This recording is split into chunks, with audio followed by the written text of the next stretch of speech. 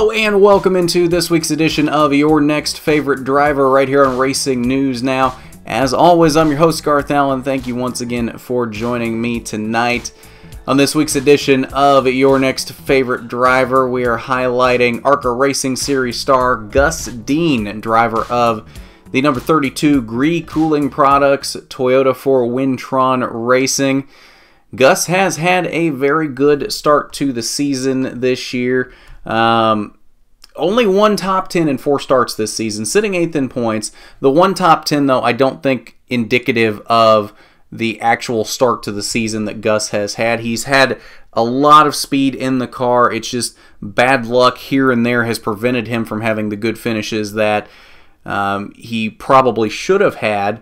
Uh, take, for example, this past week in Talladega um, running well inside the top 10 late in the race, and then gets caught up in that calamity coming to what was supposed to be the checkered flag before they went into the overtimes, and that relegated him to a 12th place finish at the end. Uh, really should have been a better finish than that.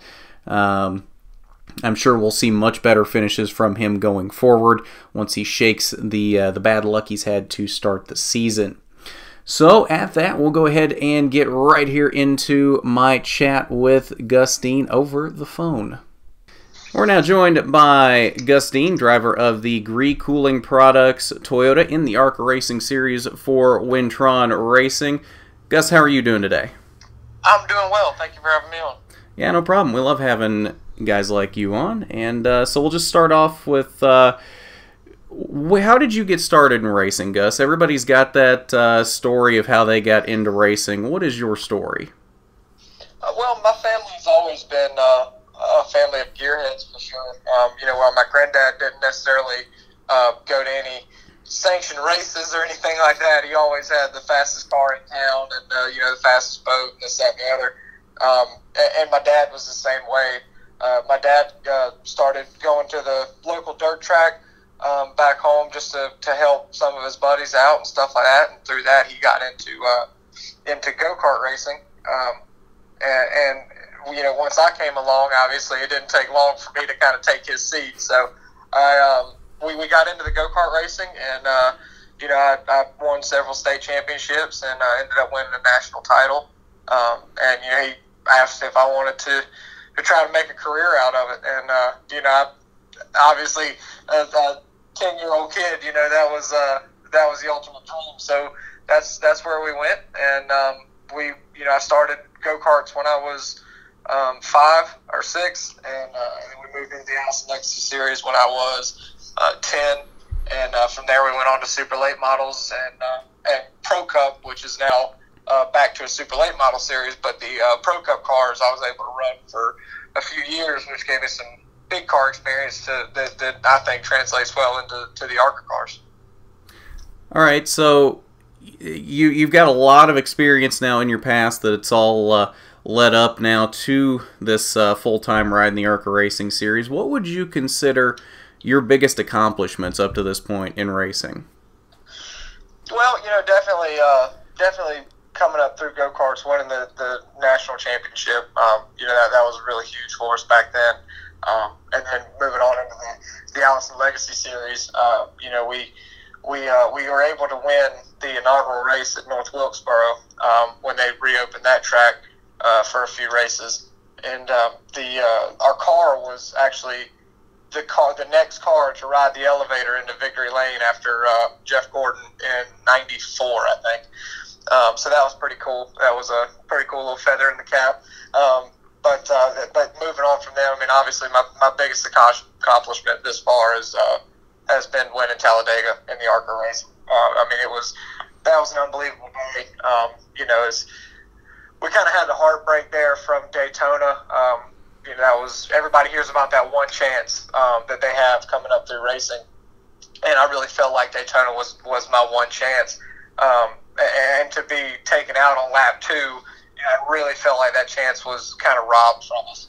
Um, but you know, it, it, looking back, that was uh, probably one of the best things that could have happened um, because we had another sponsor on board for the Daytona race um, that I don't feel like would have moved forward Uh, but for Talladega, um, we were able to bring on Gree Cooling Products, and uh, being able to win that race in my second ARCA race, my second Super Speedway race, um, and being able to take the title with Gree on the car, which led up to a full season last year and, and another full season this year, along with Baker Distributing. Um, you know, that was just uh, that was such a big day for us looking back.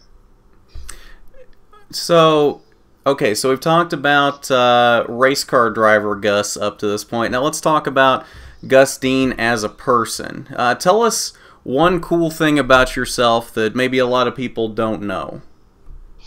Uh, well, you know, I'm definitely not a. Uh, uh, I, I don't have a lot of balance, let's say, as far as like actual balance, like standing up straight. Okay. I tend to fall a lot, but uh, but whatever reason, uh, I love board sports. Um, not so much skateboarding. I think that kind of falls into that balance thing. um, I don't think I've been able to make it more than a couple feet on a skateboard, but um, but definitely wakeboarding and surfing and um, and snowboarding.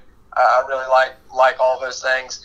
Um, uh, you know, me and my dad were big hunters, and uh, we, we we like to go hunting every year. And, and you know, being able to spend that father son time with him uh, in the woods outside of the track. You know, because we're at the track, we're, you know, we're both just so uh, business and goal oriented that you know it, it kind of takes away from that a little bit. But but being able to, to reconnect with him in the woods and stuff like that, that's uh, that's really big, big to me.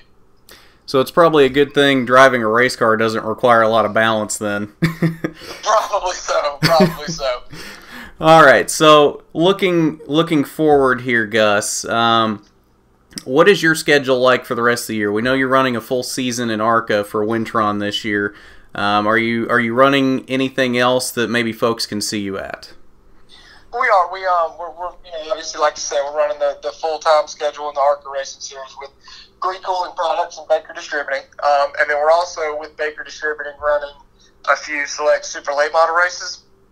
Um, the next one being uh, the Cars Tour race at Hickory, I believe, um, which is right after this 11 week uh, 11 week stint that we have coming up in in the ARCA series. So we'll be running that, um, and then you know whenever I can, I like to run. I have a little Legends car uh, that that we race for fun. Uh, they're a blast, you know, and and anytime I get behind the wheel of anything, there's always something to be learned. And uh, definitely with those Legends cars, they're they're small, but they're challenging, and they're they're um, you know I I feel like I gained something from being able to run those races. Um, so being able to run that and, the super late model, um, we'll definitely be doing that going forward throughout the year. Um, but you know we're also trying to work on some other stuff towards the end of the year um, that's not really solidified yet, but uh, but hopefully we'll be we'll be moving into that and uh, and hopefully looking uh, looking a little bit further for the end of this year and next year. All right, cool. So, lastly, here before we let you go, Gus, uh, where can folks find you online, whether that be social media or website or, or what have you? Well, we all we have gusdean.com uh, for our website, but uh, on social media, um, we're on both Twitter and Instagram at, at Um, and then on Facebook, we are Gus Dean Racing. Um, and we also have uh, Gree Racing's Twitter page and uh, Facebook page, as well as Baker Distributing. Give those a, a follow for me. That that really shows us the support and uh, and lets them know that, that you know what they're doing with the racing is, is working for them, and, uh, and and just helps us out a lot. Definitely. All right. Well, Gus, thanks for joining us today, and uh, good luck for the rest of the season. Hopefully, we've introduced you to a few more fans that may not have known you today. Well, I sure appreciate it. Thank you very much. And we want to thank Gus Dean one more time for coming on tonight. It was a pleasure talking to him. And we wish him nothing but the best going forward this season. I'm sure that won't be the last time we talk to him throughout this season. I'm sure he uh, will have some great finishes this season that he can come on and we can chat about uh, in the weeks to come in the ARCA Racing series.